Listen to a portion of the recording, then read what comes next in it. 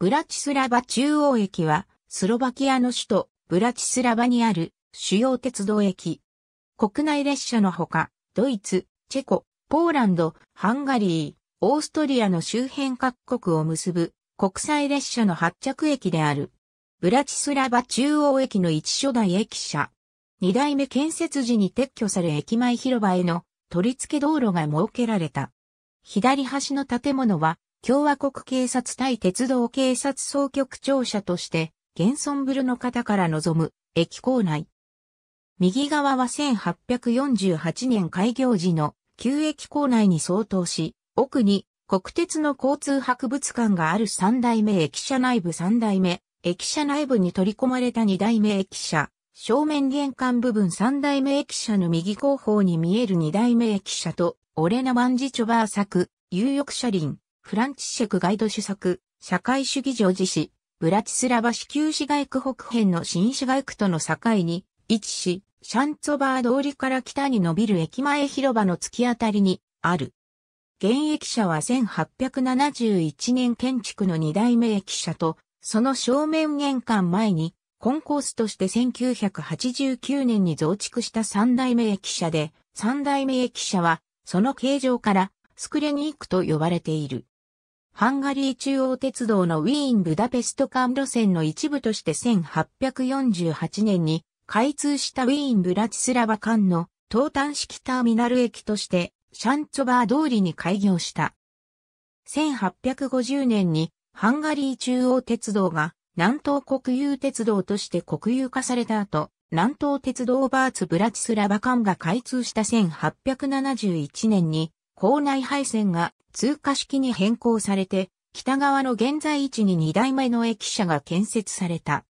1883年には、バーグベルジ鉄道のブラチスラバラチャ鉄道駅とブラチスラバ中央駅を結ぶ短絡線が開通し、3路線のターミナル駅となった。当時のブラチスラバ中央駅の貨物ホームには、ワイン積み下ろし施設、ビーノボドと弾薬積み下ろし施設、パトロン機が設けられていた。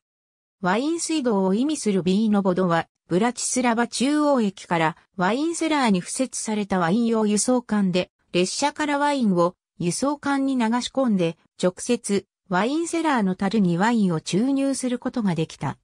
パトローン機は当時ブラチスラバ市新一街区にあったノーベル社ダイナマイト工場で製造していた弾薬のカートリッジにちなんで名付けられた貨物用作動で砲弾類をホームに直接運び込むことができた。後旅客の増加によって貨物施設は郊外に移転し、旅客駅化した。第二次世界大戦後のブラチスラバ市街地の発展に伴い、中心部に近い旧ブラチスラバイコールノベーメスト鉄道駅をターミナル駅としていたブラチスラバコマールの鉄道線とブラチスラバヘジェシャロム鉄道線について市街地を迂回するルートが計画された。1954年にブラチスラバコマールの鉄道線、ブラチスラバ墓地鉄道停留場からブラチスラバ中央駅を結ぶ短絡線が開通。1985年にはドナウ川を渡るドゥクラ英雄橋の完成で、ブラチスラバヘジェシャロム鉄道線の乗り入れも始まり、5路線のターミナル駅として利用客が急増した。このため1988年には2代目駅舎を残したままコンコースの拡張増築として3代目駅舎が着工し、翌1989年に供用を開始した。当時、現駅構内の東側に新しい駅構内及び駅舎を建設して移転する計画があり、コンコース増築は新駅供用開始までの応急的な対応の位置づけだったが、同年のビロード革命で社会主義政権が崩壊したことなどから結局新駅移転は実現しなかった。1848年開業時の初代駅舎の一部は現在内務省鉄道警察総局長車に使用され、隣接する当時の駅構内は、機関区及びスロバキア国鉄が運営するブラチスラバ交通博物館に転用されている。首都の玄関駅としては小規模で民主化以降、オーストリア国境で遮断されていたパルンドルフ、ブラチスラバ支線喫営、ブラチスラバペトルジャルカ間の復活などで通過する貨物列車本数が急増し限界に達しているため、ブラチスラバ中央駅北方の丘陵地帯をトンネルで抜ける貨物列車用の迂回ルートが検討されている。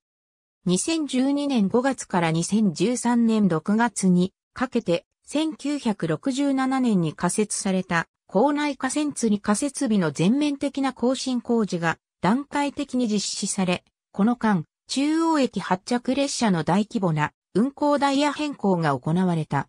プラットフォームは1番から6番までの6面あり、1番ホームと6番ホームは単式、その他は島式である。2番ホームと3番ホームの間に、主に貨物列車用に使用される抽選が2本設けられている。3番ホームにある10番線は有効町13両で最も長い。